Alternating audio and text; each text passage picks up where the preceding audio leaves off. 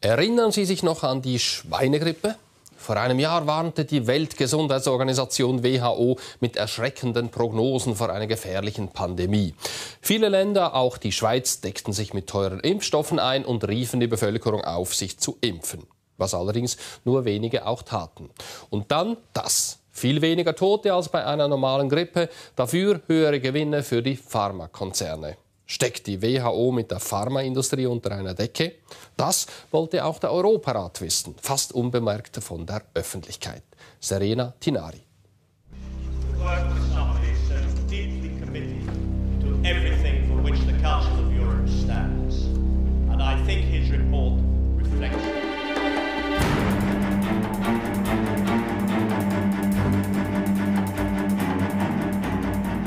The world has been die Welt fürchtete in den letzten Jahren vier Schreckensszenarien. Die SARS-Epidemie, den Rinderwahn, die Vogelgrippe und zuletzt natürlich die Schweinegrippe.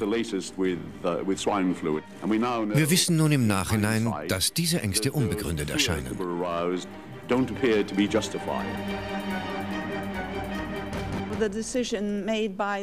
Die Entscheide der WHO bringen uns als politisch verantwortliche Parlamentarier in eine sehr ernste Lage. Straßburg, Januar 2010. Vertreter der WHO müssen beim Europarat antraben. Eine Motion bezeichnet die Schweinegrippe als erfundene Pandemie. Die Schweizer Ständerätin Lilian Mori-Pasquier präsidiert die Gesundheitskommission des Europarates. Der deutsche Arzt Wolfgang Wodak erhebt schwere Vorwürfe. Es seien Millionen von Menschen unnötigerweise geimpft worden, nämlich zusätzlich zu den Impfungen zur saisonalen Grippe. Wie konnte die WHO dazu kommen, so einen teuren und gefährlichen Blödsinn zu machen, wie sie es gemacht hat? Sie hat das Vertrauen einmal bei der Vogelgrippe und jetzt noch mal wieder bei der sogenannten Schweinegrippe völlig verspielt. Die Vogelgrippe. Drei Jahre Ängste. Die WHO warnte, es ist eine Frage der Zeit, bis dieses Geflügelvirus sich zusammentut mit einem Humanvirus und ein äh, Pandemievirus daraus entsteht. Wir gehen davon aus, das sind nur Modelle, wir müssen mal sehen, was dann nun wirklich passiert, dass äh, bis zu äh, 17 Millionen Menschen äh, sterben können.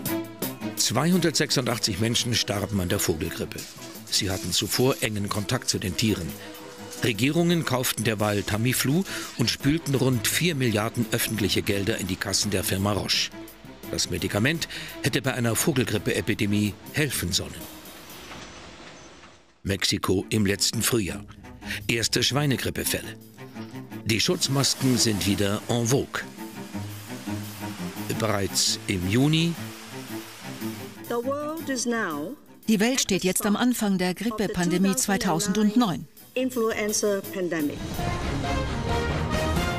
Guten Abend, meine Damen und Herren. Willkommen zur Tagesschau. Aus der Schweinegrippe-Epidemie wird offiziell eine Pandemie. Die Weltgesundheitsorganisation WHO verkündet in diesen Minuten in Genf, dass sie den Alarm für die Schweinegrippe auf die höchste Stufe anheben wird. Die Generaldirektorin der Weltgesundheitsorganisation hat 10 nach 6 äh, Genfer Zeit die äh, Phase 6 der äh, äh, Grippepandemie ausgerufen. Mit der WHO-Ankündigung setzt die Pandemiemaschinerie ein. Desinfektionsmittel, Schutzmasken, Furcht. Eigentlich ist der erste Grippeverlauf eher beruhigend. Aber die Experten der WHO warnen sogar, es könnte wie bei der spanischen Grippe 1918 enden, mit Millionen von Toten. Der Virus und die Krankheitsfälle verschwanden damals fast völlig im Laufe des Sommers. Aber nur, um im Herbst 1918 mit der Wucht wieder aufzutauchen, die wir alle kennen. Selbst wenn wir jetzt nur milde Fälle sehen, können wir nicht sagen, was in Zukunft geschieht. Vor zwei Monaten. Die Schweizer Behörden erklären Ende der Pandemie. Die pandemische Welle kommt zu ihrem Ende. Die Epidemie scheint ein klein bisschen weniger schwer gewesen zu sein, als man im August prognostiziert hatte. Vergleichen wir die Daten. Nach rund einem Jahr zählt die Weltgesundheitsorganisation bei der Schweinegrippe 17.483 Tote auf der gesamten Erde. Pro Jahr sterben auf der ganzen Welt an Tuberkulose bis zu 1.780.000 Menschen. die Ressourcen im Gesundheitssystem, die sind überall knapp. Und wir wissen, dass äh, jeden Tag 26.000 Kinder sterben an Hunger oder an vermeidbaren Erkrankungen, wo wir was tun könnten, die wir retten könnten. Dafür brauchen wir Geld. Und immer heißt es, wir hätten zu wenig Geld. Und wenn man dann in einer solchen Situation für eine unnötige und sogar schädliche Maßnahme so viel Geld ausgibt, und das sind in Europa bis zu 5 Milliarden wird geschätzt, nur in Europa und 18 Milliarden weltweit, dann ist das sehr viel Geld. Da kann man sehr viel Gutes dafür tun. Der Flop der Pandemie-Impfkampagne ist der Tropfen, der das Fass zum Überlaufen brachte. Die Regierungen hatten Millionen ausgegeben, um riesige Mengen an Impfstoffen einzukaufen. Immer das schlimmstmögliche Szenario vor Augen. Aber der Großteil der Bevölkerung entschied, sich nicht impfen zu lassen und so lagern viele Staaten Unmengen ungebrauchter Impfdosen im Kühlschrank. Ein Charakteristikum dieser Pandemie, auch in der Definition, war immer, dass es eine hohe Morbidität und eine hohe Mortalität äh, mit sich bringt. Das heißt, sehr viele Menschen werden schwer krank und sehr viele Menschen, viel mehr Menschen als üblicherweise, sterben an dieser Erkrankung, die sich so schnell verbreitet. Doch dann hat die WHO Anfang letzten Jahres die Pandemiedefinition plötzlich abgeändert. Wichtig war jetzt nur noch die schnelle Verbreitung. Aber wenn die Anzahl Toter nicht mehr relevant ist, was soll dann der Vergleich mit der spanischen Grippe? Gemäß Wolfgang Wodark gibt es eine auffällige Koinzidenz bei den Verträgen mit der Pharmaindustrie. Die Änderung dieser, dieser Definition ist dadurch erst möglich geworden, eine ganz normale, eine stinknormale Grippe zu einer Pandemie hochzustilisieren, was dazu geführt hat, dass diese Geschäfte plötzlich dann anfingen zu laufen. Eine schwere Anschuldigung. Doch tatsächlich, der von Deutschland 2007 mit GlaxoSmithKline abgeschlossene Vertrag hält fest, wenn die WHO Stufe 6 erklärt, beginnt die Pandemie. Und es treten die Vereinbarungen in Kraft zur Lieferung des speziellen Pandemie-Impfstoffes. Die WHO bestreitet die Anschuldigung. Lassen Sie mich für das Protokoll klarstellen. Die Grippepandemie-Regeln und Angebote der WHO wurden nicht missbräuchlich von der pharmazeutischen Industrie beeinflusst. Das heikle Thema kommt im Schweizer Jahr in den Europarat. Micheline Calmire präsidiert das Ministerkomitee und Lilian Moripaski die Gesundheitskommission. Die Schweizer Delegierte ist Hebamme und präsidiert auch den Nationalen Berufsverband.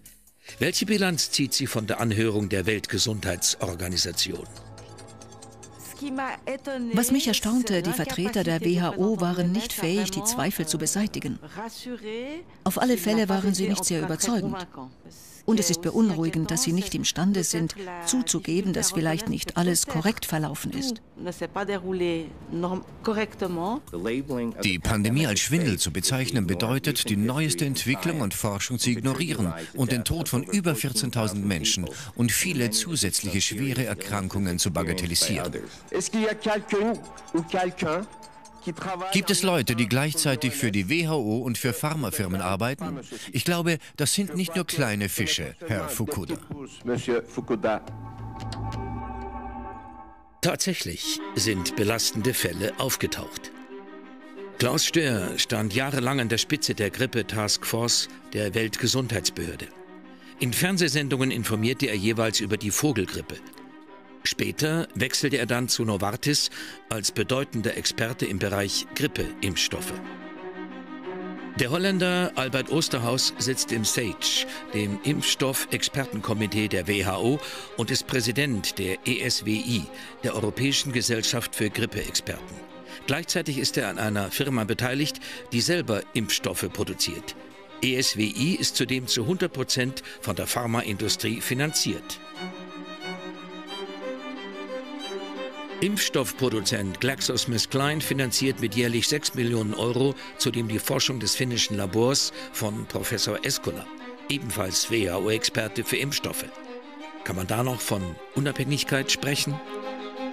In einer Welt, wo die Zahl wirklicher Grippefachleute recht klein ist, ist es unvermeidlich, dass solche Experten von allen beigezogen werden. Aber wie versucht die WHO, mögliche Interessenskonflikte zu vermeiden? Wir bitten diese Experten, ihre Beteiligungen auf einem Formular zu deklarieren. Und dieses Formular wird im Sekretariat und im Vorsitz der Komitees diskutiert. Das gilt für alle Komitees der WHO, nicht nur für das SAGE, für jedes Komitee innerhalb der WHO. Protokoll der SAGE, 7. Juli 2009, mitten in der Schweinegrippe-Pandemie. Albert Osterhaus war dabei. Deklarierte Interessenskonflikte? Keine. Nur der Jamaikaner Peter Figueroa deklarierte einen Beitrag von der pharmazeutischen Industrie. Escola? An der SAGE-Sitzung im Oktober 09 mit dabei. Escola deklarierte zwar einen kleinen Zustupf von Novartis, aber keine Spur von den Millionen, die sein finnisches Labor von GlaxoSmithKline erhält.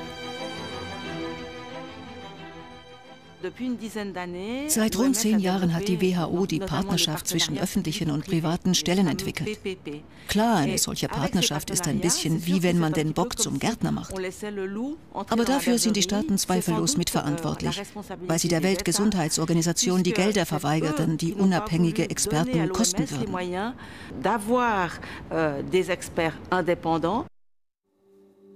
Eines ist sicher, die Staaten nahmen den Pandemiealarm der WHO ernst und müssen jetzt gesalzene Rechnungen begleichen. Alle, bis auf einen. Polen hat nicht eine Dosis Impfstoff gegen die Schweinegrippe gekauft. In meinem Land hat die Regierung keine Schweinegrippe-Impfstoffe gekauft.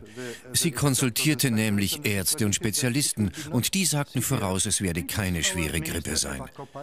Unsere Gesundheitsministerin Eva Kopacz war sehr überzeugend in ihren Äußerungen, sehr vertrauenserweckend und die Bevölkerung glaubte ihr. Eva Kopacz ist selber Ärztin und im ungeimpften Polen gab es nicht häufiger Schweinegrippefälle. Welches Mittel nahm Professor Wach, als er erkrankte? Ja, äh, ein sehr traditionelles, nichts Spezifisches. Es ist ein Virus. Meine Frau machte mir eine sehr gute Bouillon. Die nehme ich gerne, wenn ich Fieber habe. Ein Jahr lang verfolgte die Angst vor der Pandemie auch die Schweiz. Eine Pressekonferenz jagte die andere. 5. Februar 2010. Das Bundesamt für Gesundheit erklärt das Ende der Pandemie. Das Interesse der Medien und der Bevölkerung ist geschwunden. Offenbar ließen sich nur 14 Prozent der Bevölkerung impfen. Übrig bleiben allein in der Schweiz 11 Millionen Impfdosen für 70 Millionen Franken. Der Europarat hat nun den englischen Abgeordneten Paul Flynn mit einem Bericht beauftragt. Was wir nun wissen wollen, wer berechnete das Risiko? Wer setzte die Messlatte, um solche Erklärungen abzugeben, welche die ganze Welt erschreckten? War das Risiko berechnet aufgrund medizinisch unabhängiger epidemiologischer Evidenz oder war das Risiko von Leuten berechnet worden, die Geld verdienen wollen mit dem Verkauf von Impfstoffen? Es ist Zeit daraus zu lernen, um es besser zu machen. Wenn nicht, diskreditiert sich die WHO selber und beim nächsten wirklich gefährlichen Virus wird sie niemand mehr ernst nehmen.